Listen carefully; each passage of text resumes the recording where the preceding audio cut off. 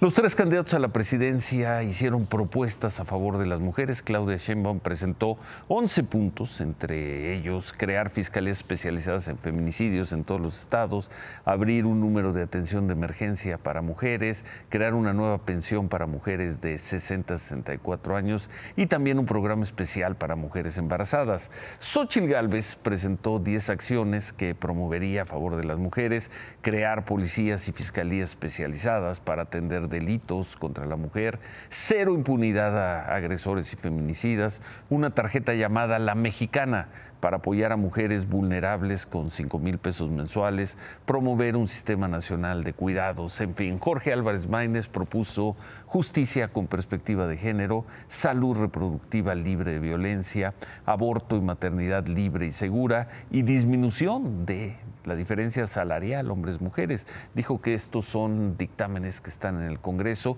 y pidió no esperar a las elecciones, sino votarlos y aprobarlos lo más pronto posible.